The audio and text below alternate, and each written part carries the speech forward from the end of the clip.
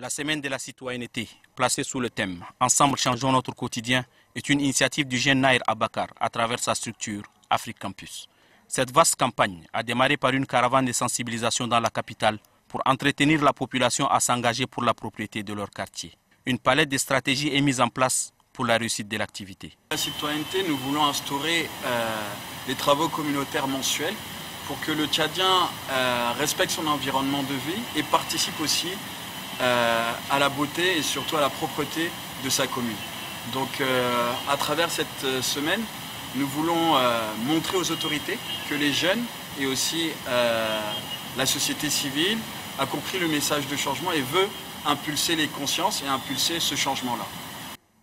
En réponse à l'appel de cette opération, la police nationale, en présence de son directeur général, Tahir Erda Tairo, s'est jointe à cette action de sensibilisation au palais du 15 janvier à l'école de police. Il est à noter que la semaine de la citoyenneté qui est à sa première édition ne concerne que la ville d'Injamena. Cependant, elle sera appelée à toucher les autres régions du pays lors des prochaines éditions, confient les organisateurs.